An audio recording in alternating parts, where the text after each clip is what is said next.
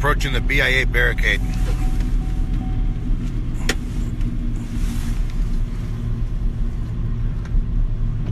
There's there's police all the way down.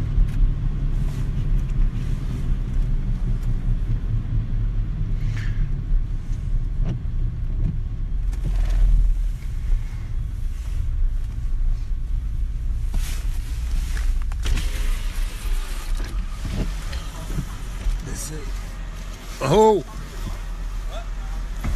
Hey, sister. They're gonna let us through the Cheyenne River. They're not. They won't let me through. Why? Because they know what you're doing. So, yeah, we'll go this way. We're gonna. We're gonna. We're gonna get in though. Okay. Alright. Alrighty. Yeah. So they're posting up on this side too. BIA. I got a feeling it would be a moment before they let people. The Rangers. I. You know, just kind of makes me upset when I see them laughing around like this is the best day of their life. That's what. That's what really hurts.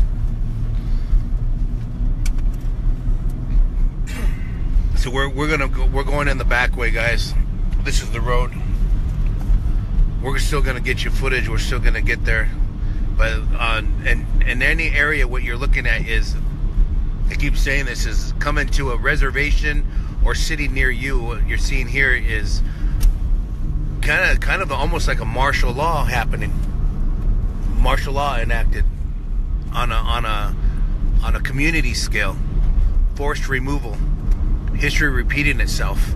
And that's what we're witnessing here. And I know the negotiations were going on in the morning time about um, armed armed uh, officers being inside the camp which turns it into a prison of war camp when you see that type of action.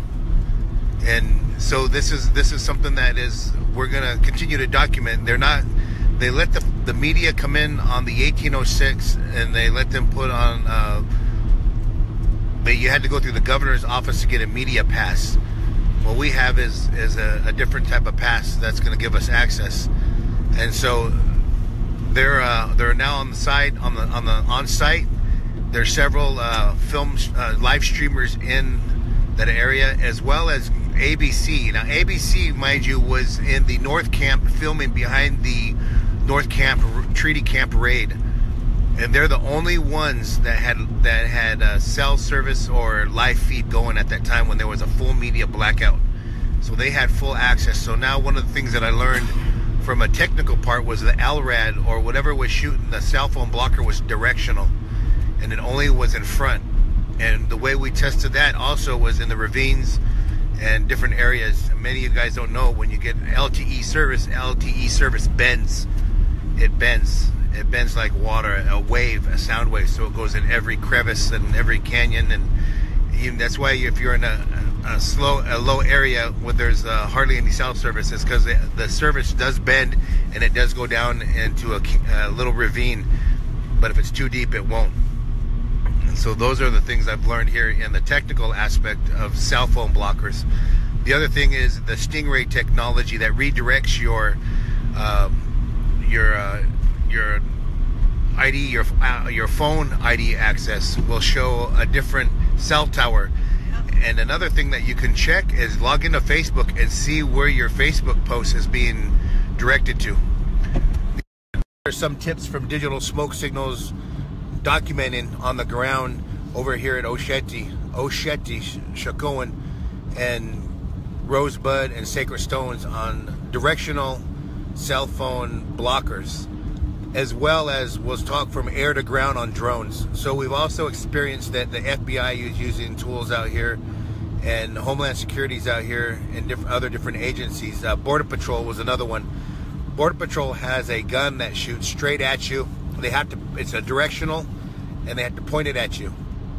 And after all the drones that that uh, that we have lost, not just from shotgun blasts, but sonic blasts, RF blasts, wireless disconnect. There's several different uh, different types of technology they've been using on the drones. One of the drones was knocked down at a legal limit of uh, the legal flying limit in North Dakota is 400 feet. The drone was knocked down at 380 feet. Fell right out of the sky. Brand new drone. if there was a technical difficulty, the next drone wouldn't have had the same issue at a 200 feet drop. And later on, the next day, the Dakota Access Pipeline mercenaries uh, took out the drone, which you guys seen in live footage. And then the next day, it was we were documenting the the, the barricade move forward, and the police shot the drone with a shotgun, 12 gauge. And we also documented that. We've got other footage um, that we've been going through and seeing where the sonic blast was hit at the North Camp. One of the ways that you can tell that uh, technology is being used is a, a direct drone out of the out of the. So this is the R and D stage. Pull a, a clean drone out of the package, send it, set up all the coordinates on it that you need to, set the distance, the flight, altitude, and we send it over there, and you can see the ripples in the camera of what's being used on the other side. And when your when your remote control disconnects even if you're only um, about maybe 400 to 800 yards away and your drone's in the air it'll still disconnect and it'll say it'll tell you the the drone's no longer in radio radio distance. You can see it go blank and then um, if you're lucky it'll connect and if you're you're not you've just lost your drone which we've lost a few drones right out of the box just like that. Uh, we're in another area that's straight across from the drill pad and the, we, that's one of the hot zones. We won't we won't fly from there anymore because the drones get lost in that area because it's straight across from the drill, drill pad. What I think what really puzzled me for a while is I seen border patrol down on the hill but if you don't see Border Patrol, that means Dakota Access Security have this technology. And only a government agency can have that type of technology. So th these are the types of things we're seeing used here. The other uh, access to shoot a drone down was from the air, which on November 20th, we have footage of the drone being shot from above and from a non-lethal um, ammunition that came down but what bothers me is that that was that ammunition went into the crowd. That bullet went into the crowd. That that rubber bullet, or whatever they're using. So we have that on film. We uh, blew it up. These drones film at 4K. If you're familiar with 4K, HD is your standard TV or your iPhone. If you have a brand new iPhone or a new Android, then you're filming at 4K, which is a higher resolution. Red cameras, Red 1 cameras have 4K. A7S mirrorless cameras are shooting 4K. A lot of new uh, Canon um, cameras are shooting 4K. So 4K is the highest resolution. So when we're color, you can lighten up the color. You can.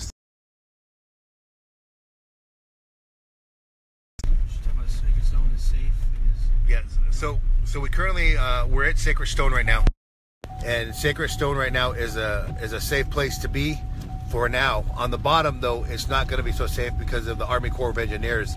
But there is security down there to keep them from coming up on, coming up on on through, the bottom, and so people are, are coming over here in their vehicles to be to come in a, a safe spot in Sacred Stones right now, and and that's where we currently are at Sacred Stones. Uh, the road is currently open to Sacred Stones for now. That's not meaning that it will be later on.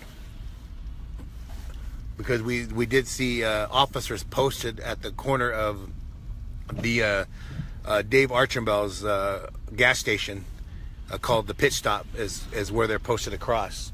And on the west side of, of Dave's, uh, the chairman's gas station, is the blockade for the um, to go into the camp they are letting people into the Cheyenne River camp that that are there. It's actually, I excuse me, it's not a camp. The Cheyenne, there's a gathering. It's a gathering camp, a gathering place. That's not a camp. Different. I had to get that corrected.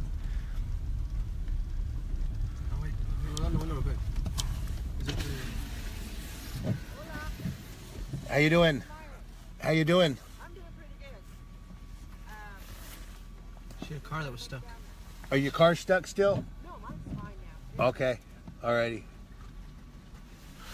Community and people looking out for each other. Yeah. What you got, brother?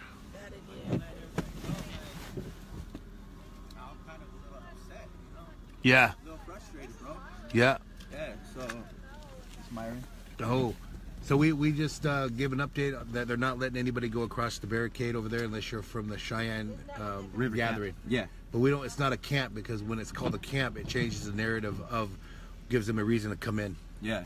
So it's a it's a gathering uh, spot right now that's happening over there for people that want to get in a safe place. Yeah.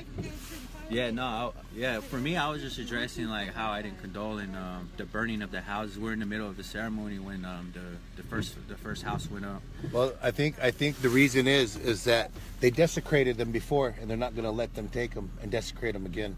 So there was a plan for it. There's a plan for those things, you know, on our own terms, right. No longer theirs.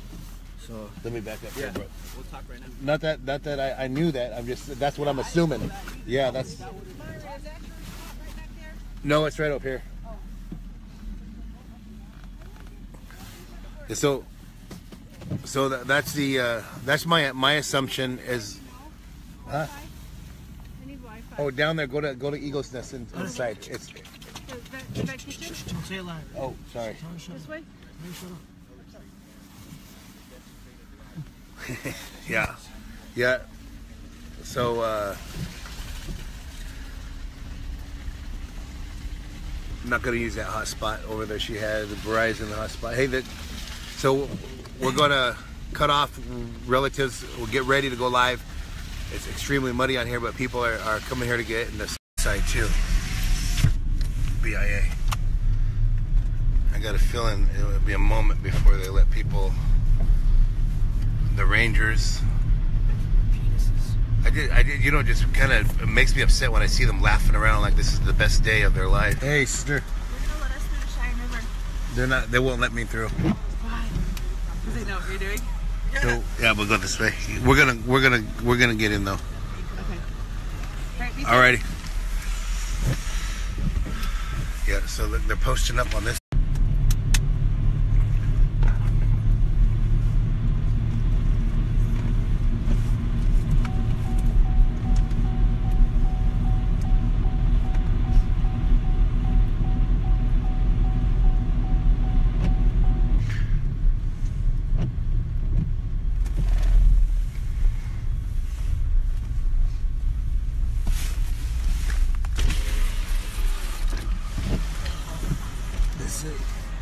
Oh. We're approaching the BIA barricade.